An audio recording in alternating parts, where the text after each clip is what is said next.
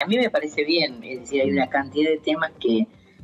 se dieron a, lo largo del año pasado. El país, digamos, ha atravesado uno de los mejores momentos, está dando una, una batalla muy, muy importante desde el punto de vista económico para tratar de contrarrestar este, lo que es el proceso inflacionario que estamos teniendo eh, y todos los problemas colaterales que esto acarrea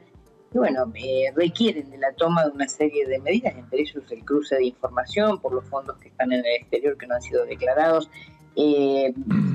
necesitamos seguir sesionando. El problema que hemos tenido es que si nosotros a fin del año pasado hubiéramos logrado sesionar y cerrar una cantidad de temas que teníamos pendientes, como ese, como el tema del, del pago de previsional, la posibilidad de que una cantidad de argentinos y argentinas pudieran jubilarse, que ya tiene la media sanción del Senado,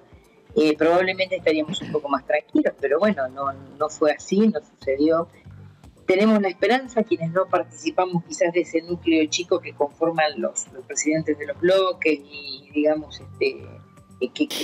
discuten y debaten algunos temas en, el seno de esas reuniones que se hacen, eh, esperamos que se resuelva rápidamente y poder retomar la actividad de la Cámara de Diputados de la Nación. Hay muchos temas que la gente está esperando. Mira,